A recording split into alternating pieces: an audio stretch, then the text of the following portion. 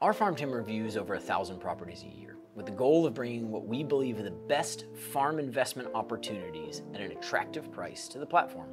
Uh, one of the primary tools we use in due diligence is Acres. This is our in-house land analysis and comparable sales software, which I have pulled up on the screen. In front of you is the Buffalo Creek Farm.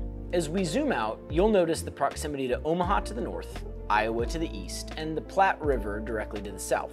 Now, Proximity to a river can raise flooding concerns, but you'll see when I click on the flood layer, this farm is well outside the 100-year floodplain. Moving to the elevation layer further supports this safety, as we can see a steep incline with over 200 feet of elevation change from the river's edge to the lowest point of this property. The elevation layer also shows the natural slope of this farm, a common attribute of farms across the dissected till plains of eastern Nebraska, uh, which assists in natural drainage of excess moisture through the maintained ditches. Uh, this is visible as the lighter green across the middle of the farm. And crop growth, which drives crop yields, begins at the soil level where we can identify contrary Monona Ida and Marshall contrary soil mixes, boasting an 81.8 soil score on the National Commodities Crop Productivity Index. Uh, these are particularly strong soils in a strong region with a rating above the Sarpy County average of 79.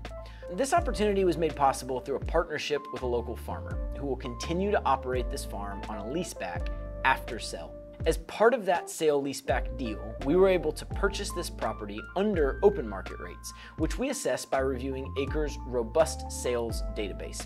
Uh, this includes not only courthouse registered sales, but also thousands of proprietary sales data points from auctions and private sales, which inform the market assessment found in the financial model. Uh, worth noting, a full financial model can always be downloaded from the Financials tab of any AcreTrader offering page. While general farm information is helpful, historical performance on a particular farm is one of the most important variables in our analysis. Step one is reviewing 10 plus years of historical images, which show consistent crop production with no major areas of concern. Step two is NDVI. This is an algorithmic analysis of the relationship between red and infrared light based off of satellite imagery, in effect showing a greenery index. We aggregate this data across the growing season, which can point out potential problem areas or show changes in production across years with variable weather. In this case, those images show consistent crop production.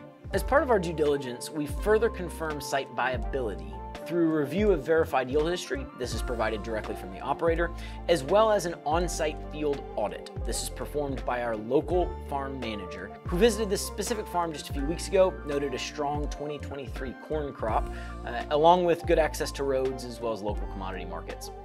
After we complete all of our due diligence, we move on to an extensive financial due diligence process the product of which can be found in the PPM and financial model, both of which are available for download directly on the offering page.